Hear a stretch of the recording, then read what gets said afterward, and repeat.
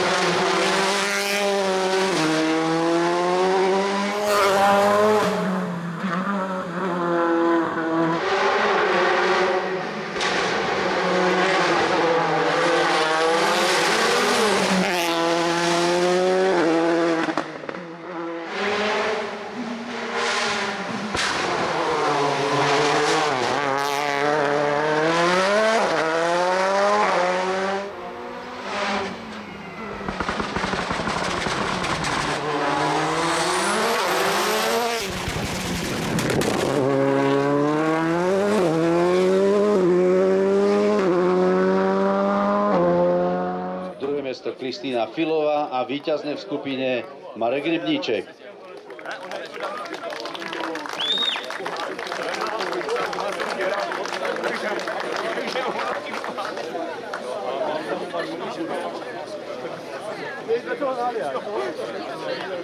Ale ten má lepší, ten, ten, ten môže.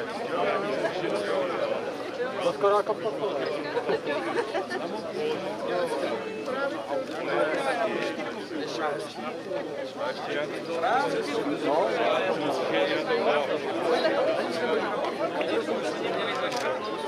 Skupina 2, gratulujeme.